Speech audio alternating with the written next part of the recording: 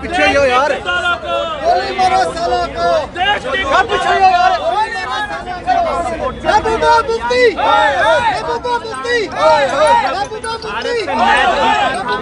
महबूबा मुफ्ती महबूबा मुफ्ती महबूबा नाम है यानी कि जो अर्थी निकाली गई है ये राष्ट्रीय बजरंग दल द्वारा जो है वो निकाली गई राकेश बजरंगी कर रहे हैं हूँ। यहाँ पर कैसे यहाँ पर पर ये देखिए। साथ में महबूबा मुफ्ती। महबूबा मुजफ्फर शाह ये तमाम नाम जो है यहाँ पर लिखे हुए हैं। और आपको मैं ये ज़रूर कि चौबीस तारीख को जो मैच हुआ था इंडिया बनाम पाकिस्तान उसमें पाकिस्तान ने भारत को हरा दिया था दस विकेटों से और उसका जश्न मना रहे थे कुछ। ऐसे लोग जो भारत विरोधी नारेबाजी कर रहे थे वो छात्र उनको आप जो छात्र वो महज नाम के छात्र थे जो पाकिस्तान की पाकिस्तान की जीत पर पाकिस्तान की जीत पर जश्न मना रहे थे।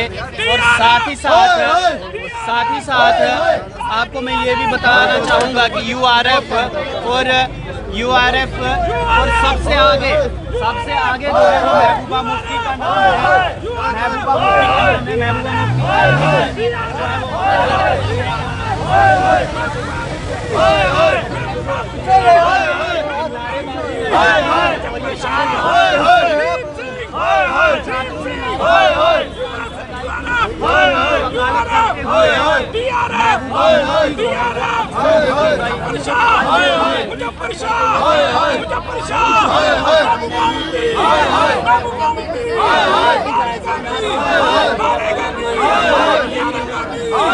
देश के किरदारों को गोली मारो सालों को देश के किरदारों को गोली मारो सालों को देश के किरदारों को गोली मारो सालों को देश के किरदारों को गोली मारो सालों को देश के किरदारों को गोली मारो सालों को देश के किरदारों को गोली मारो सालों को। देश के को। गोली मारो सालों को। नारे कमी। नारे कमी। नारे कमी। मुजफ्फर शाह। मुजफ्फर शाह। देश के गद्दारों को। देश के गद्दारों को। देश के गद्दारों को। देश के गद्दारों को। महबूबा मुफ्ती। महबूबा मुफ्ती महबूबा मुफ्ती महबूबा मुफ्ती मुजफ्फर शाह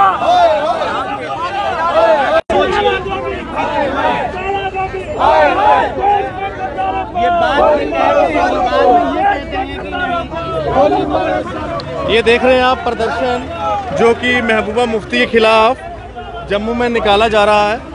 और ये प्रदर्शन लगातार जो महबूबा मुफ्ती और उनके बाकी नेताओं द्वारा लगातार जो बयान दिए जाते हैं उसके बाद ही प्रदर्शन राकेश जो ये आप प्रदर्शन निकाले क्या कहना चाहेंगे जो लगातार इस तरह की इस तरह के बयान जो कश्मीर से लगातार आते हैं। देखिए जिस प्रकार से लगातार उन लोगों को डिफेंड किया जा रहा है तो देशद्रोही है।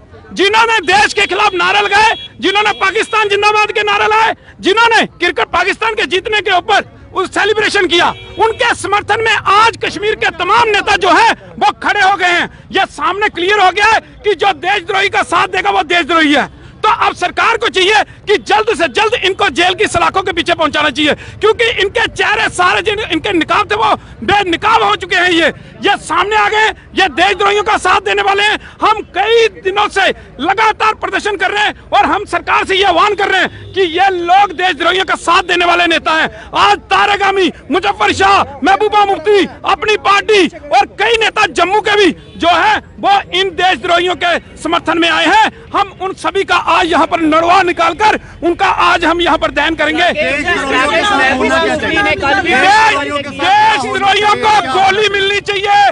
देशद्रोहियों को जेल की सलाखों के पीछे डालना चाहिए। देशद्रोहियों को खुला नहीं छोड़ना चाहिए क्योंकि ये आने वाले दिनों में देश के लिए और खतरा पैदा करेंगे।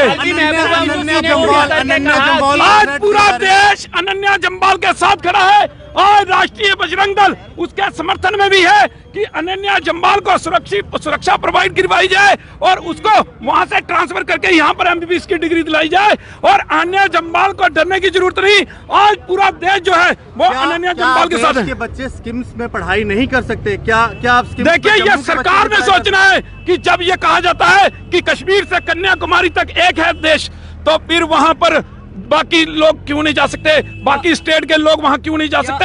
ये सरकार ने सोचना है। तो सपोर्ट कर रही है महबूबा तो सपोर्ट कर रही है लेकिन अब वकार यूनिस ने ये कहा था कि मोहम्मद रिजवान ने मैच खत्म होने के बाद हिंदुओं के बीच में नमाज़ पढ़ी क्या महबूबा मुफ्ती इसको भी सपोर्ट करेंगी? देखिए महबूबा मुफ्ती ने बोलना चाहिए ना फिर उसके अंदर भी लेकिन महबूबा मुफ्ती जो है वो केवल देशद्रोहियों के समर्थन में आ रही है। उसके अलावा उसके मुँह से कुछ नहीं निकल रहा है। हम बोलते हैं कि महबूबा मुफ्ती जब तक भारत माता की जय वंदे मातरम नहीं बोलती तब तक राष्ट्रीय बजरंग दल उसका पीछा नहीं छोड़ेगा। देशद्रोहियों को तो बार बार सपोर्ट कर रहे हैं ये लीडर्स क्या इन लीडर्स के ऊपर नहीं एक बार फिर से पीएसए लगाना चाहिए? बिल्कुल देखिए मैं कह देता हूँ कि जब इन लीडरों के ऊपर पीएसए लगा तो सारी शांति थी।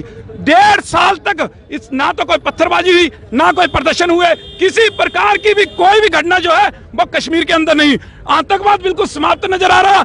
जब से ये नेता जो है पीएसए के तहत जो बाहर आए हैं तब से आतंकवाद में भी बढ़ावा हुआ देशद्रोही घटनाओं में भी सामने सामने आ रही हैं और लगातार जम्मू कश्मीर के हालात जो है वो खराब हो रहे हैं कहीं ना कहीं लगता है हमें कि इन नेताओं का केश बजरंगी जो है प्रदर्शन कर रहे हैं और ये प्रदर्शन का कारण है जो लगातार देश द्रोही देशद्रोही जो यहाँ पर स्टेटमेंट्स देते हैं उसके बाद ये आप देखें ये शव यात्रा निकाली है देशद्रोहियों की। ये सभी देशद्रोहियों की शव यात्रा है, टीआरएफ और बाकी सभी की शव यात्रा यहाँ पर निकाली गई है और सरकार को भी देखना पड़ेगा। अगर भारत एक है जम्मू कश्मीर से लेकर कन्याकुमारी तक एक है तो क्यों शेर Kashmir institute of medical sciences में अनन्या जमवाल के ऊपर थ्रेट आई? क्यों जम्मू और उसके बाहरी राज्यों के जो बच्चे हैं, उनके ऊपर थ्रेट्स दी जा रही हैं? क्यों बच्चे वहाँ पर पढ़ाई नहीं कर सकते?